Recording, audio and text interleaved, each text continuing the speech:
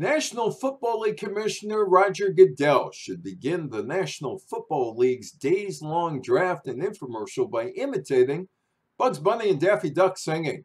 Overture, curtain lights, this is it, the night of nights. No more rehearsing and nursing apart. We know every part by heart.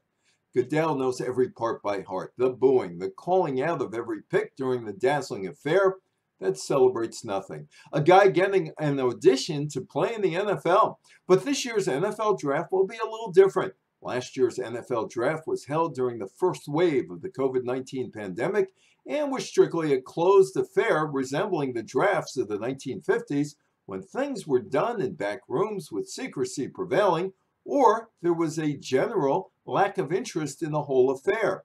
The NFL has its draft experience where fans who feel the need to experience what essentially is a boring exercise can attend some events. The NFL wants those people wearing masks, even if those people have been vaccinated.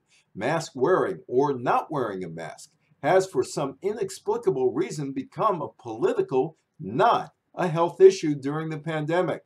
There will be a vaccinated zone, but being vaccinated is not a requirement to attend the NFL event.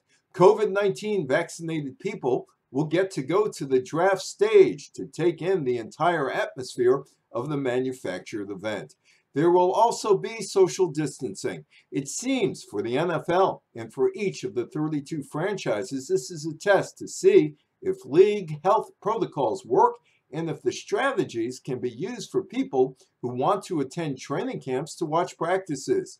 It is far too early to know if NFL teams can fully fill a stadium in the fall. I'm Evan Weiner.